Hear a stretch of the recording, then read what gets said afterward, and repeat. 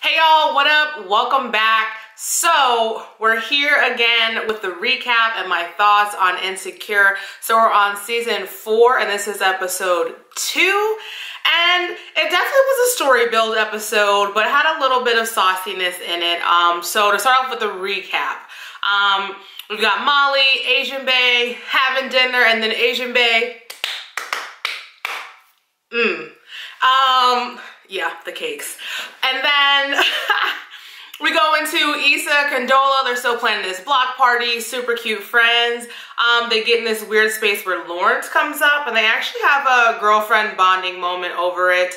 Um, the girls get together, they're definitely still keeping all of the side characters in and talk about, you know, what's going on. It's Halloween, costumes pop. Um, Kelly says, you know, she's already heard about the sex story and um, goes about her business. Issa's like, you know, Molly, girl, are you really want to do this or what's going on with you? Um, speed up a little bit. We've got Lawrence talking to the boys, getting advice, which, why does he talk to his boys? Because they fucking whack. But we do get Chad back, who I love to hate because he is just such a hot mess character. Um, they're telling him like, uh, your girls can't talk. They're gonna start a podcast about you. Don't let it happen. You slipping my nigga. Mm-mm. Um, Molly, woman's up, hollers at Asian Ben, is like, hey, look, can we do real dinner? I just want to sit down and kind of get it together and see what we're doing. Asian Bae agrees. They have dinner. It's not exactly what you would think. Um, gets a little bit spicy. He leaves. Um, Issa, Molly get back together and, you know, hype about schoolboy Q. Molly's like, you know, I don't know, we talked, it didn't really work. Um, I don't think it's gonna work with him. Issa gets a little spicy. Um, and it's like, sis, do you want to be happy? Because you don't act like you want to be happy. And Molly's not for it. Um, also, in the midst of um, some of this, we get some Molly at work, which I don't know if you guys remember, but she was Shady McShade and always going out to get hers last season and they still really not fucking with her, especially Taurean. So um, he was pretty upset with her because he feel like she played him in another meeting. Um, she tried to, you know, apologize. She didn't apologize, not even try. Um, he was like, all right. So we'll see where that goes. But in the essence, that was the whole episode. Not a ton happened. So my thoughts. Um, I really feel like this was the episode setting the foundation for um, Issa in the beginning saying, I'm not fucking with Molly right now. So there wasn't any huge, huge things that happened, but um, we do get Kelly who heard about Molly and Asian Bae sleeping together before Issa, and it was definitely like a, oh, already heard that girl, I'm gonna go do whatever usually you tell your best friends that first, you know? So that was kind of like a eh. And then, um, I didn't mention this in the recap, but Issa and Condola are working. She's supposed to be meeting Molly for dinner. Um, Molly kind of comes up on it. Issa's like, oh girl, just stay, have dinner with us. You know, we'll all kick it together, friends, friends, friends. And Molly's not feeling it. Like, obviously not feeling it. She's like, and Condola goes to the bathroom. She's like, Issa, girl, what are you doing? Because I don't know her like that and I really wanted to talk. Um, and Issa just kind of like dusted off. And there's a real shade moment where Molly takes her menu back. Love it. Um, and then a little bit later, you know, Asian Bae and Molly got into it. She's sad or whatnot. She calls Issa. Issa's like, hey, I'm at a concert. I'll call you later, girl. Um, we don't actually see if Issa calls her back, but it was more than a concert. You know what I mean? Like it, it wasn't that she was just there kind of like kicking it. A, she was there meeting with Condola, but it was for work and it was important. So when they go for their hike, um, is all turned up about her um, opener for the block party. And Molly's like, oh dang, you found somebody? So again, another piece of information that was not shared between best friends who um, someone else knows, Condola knows, and she's already kind of like involved in that process. And then Asian Bae calls while they're on their hike and Molly says it's work. So it's just really kind of getting funny. I'm not really sure. I mean, I can feel they're not feeling each other. You know, we close out with um, Issa. I'm so happy she's done.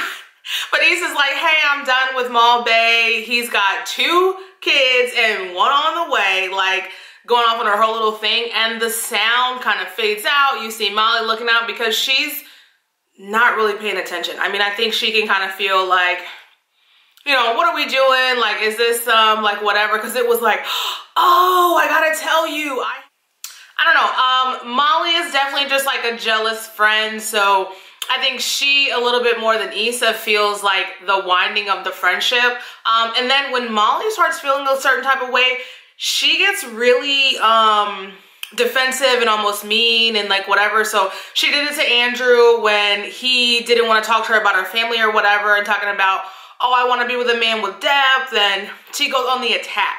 Um, I like that they're kind of like building up these little things and they're letting us sense like, oh dang, she did, oh, and she didn't. And they, through this kind of stuff and that Issa, of course, in her pure Issa-ness is just completely oblivious to this. Um, so that way it's not some huge nothing happened and they're not friends. Um, I do think they're gonna have a fight. They fight. Um, but I think this one's gonna be a little bit more personal and hurtful. Um, and I think we're gonna get quite a few episodes of them not being friends. I, I really do. Um, one thing the internet's been talking about that I'm just kind of uh, about is um, Molly getting with Taurean at work. I don't want it. He's too skinny. He's not all that cute. I need her to stay with Asian Bae. Like, I think he's sexy mm, as fuck. And I just think he gets her and he's tough and he stays and he gets the vibe and like, I don't know. I like shows having other characters on them. I like when the characters um, are dating other people. I appreciate this being like a hella black cast, but how many black friend groups have an Asian guy? I mean, I know quite a few. He's got some flav. He's in it. You know what I mean? I like her being with him. I don't think it just has to always be um, black person dating black person. Um, I like that we can create stuff that has diversity and is a little bit more true to what things are like where we are. So I hope that that's not going to be a thing. Um, another one was Issa Lawrence. So Lawrence did um, pull up to Issa's place and was like, hey, listen, can you not talk to Condola about me? I really want to start this off on the right foot, do this my way and like let her get to know me through me. Um, a lot of people were upset with it. In the beginning, I was like, boy, fuck you. Like, ugh. But they've known each other for a long time. Um, they do have a friend connection with Tiffany and Derek, and then now Condola, and I think just to keep the peace or whatever, um, she's known him longer, and he is trying to set up this new foundation, so I don't think it was super out of pocket him asking her that. Um, I do think he could have called, but I get wanting to see her face to face and be very genuine about it. What I didn't like though was when she called him before going into the Schoolboy Q show with Condola and being like, oh hey, I just wanted to check and make sure I didn't, I'm not gonna mess anything up. Should I bring it up? Can I talk to her about it? What we're not gonna do is be checking in with you and making sure I'm keeping stuff copacetic. Like, nigga, be your relationship. I said it was cool, like whatever. We're not gonna talk about you. It's dead. I think she did do a little bit too much in calling him. And then in her true Issa fashion, was trying to talk and he's like, we can hang up now. I appreciate them showing us him and seeing the smile on his face of him knowing like, Issa Weird Ass wasn't gonna hang up. So that wasn't like a really salty, moody point past the fact that she called him because girl why? Like you don't owe that to him. That's his girlfriend. Y'all said y'all's piece like be done with that and move on. Um yeah so that is season four episode two insecure. Definitely built some storyline for us. I'm really excited to see what happens let me know what y'all think is gonna happen with Molly and Issa in the comments. How y'all feel about Lawrence coming to ask her not to talk to Condola about him?